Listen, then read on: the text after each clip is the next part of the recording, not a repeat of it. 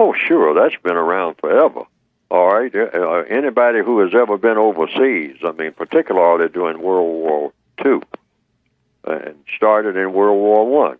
I. I mean, the rumor was always that hey, stay away from those black those those black people, those black those black creatures that look like people, and they're in uniform.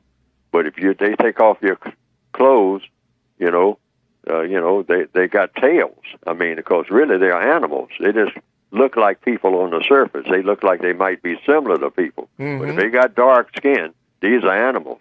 Stay away from them. That's what the white soldiers would tell the populations in places like France and Belgium and places like that. And many a person that went through that will tell you that when they were go to a uh, house of prostitution, or if they had girlfriends, one of the things that the uh, people in other parts of the world would ask them, well, you know, are you going to show me your tail? You know, they would ask them that. I talked to fellows who had that experience, and they'd say, "What are you talking about?" They say, "Well, the other soldiers say that you have tails. If chocolate soldier has tails, Mm-hmm. you know."